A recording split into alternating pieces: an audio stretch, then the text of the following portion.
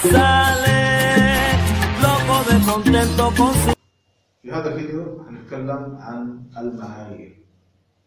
المعايير مهمة بالنسبة للإنتاج والاستهلاك بشكل عام في أي سوق أو أي مجال موجود في العالم.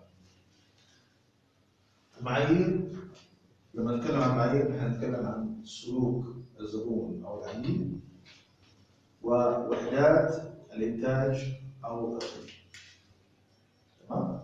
طيب لما تكون عندك هدف لإنتاج منتج لازم تكون واعي بزبائنك وسلوكهم في استهلاك المنتج لأنه سلوك الزبائن من مكان لمكان يختلف تمام؟ لما تكون عندك خدمة حابب تقدمها لازم تكون واعي برضو بسلوك العميل عندك. تمام؟